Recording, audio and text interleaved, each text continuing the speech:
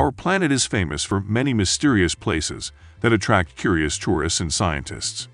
The researchers make every effort to unravel the secrets of the mysteries of nature, using modern technologies for this, but the result is not always successful. After that, a landmark of this kind has a lot of rumors and legends, which stir up even greater interest among tourists. One of these places is a rock formation of an unusual shape in the state of Wyoming, northwestern United States. Many call it the Devil's Tower.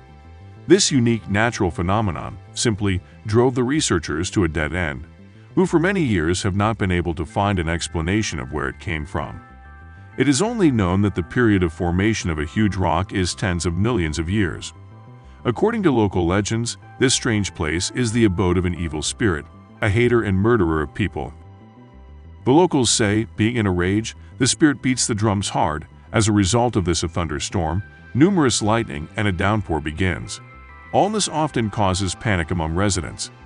There is a version that the tower appeared thanks to seven sisters who, fleeing from a giant grizzly, climbed a stone and began to pray to God that the stone would grow and become an impregnable high mountain and the furrows around the tower are the traces of the claws of a wild beast.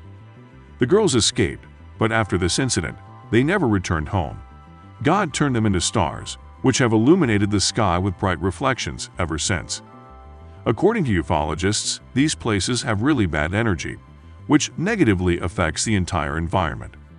The accumulated energy masses from time to time illuminate the top of the cliff. But if you believe the official scientific data, then so far scientists have not found any explanation for this phenomenon, but they nevertheless put forward a couple of versions.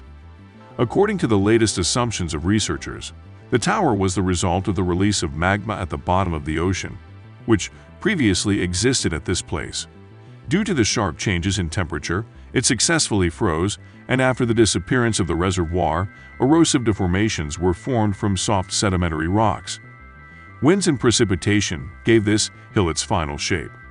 Of course, this version seems far-fetched to many. Today, the Devil's Tower is one of the most popular places among climbers, where more than 5,000 extreme climbers come annually, eager to conquer its summit. In addition, ordinary tourists come to visit this place to look at an unusual attraction with a mysterious energy. The real history of the formation of this rock is unknown, but one thing can be said with certainty that it is a unique natural monument of gigantic size and unusual external shape. Subscribe for more videos like this and turn on the notification to help the channel out. Thanks for watching.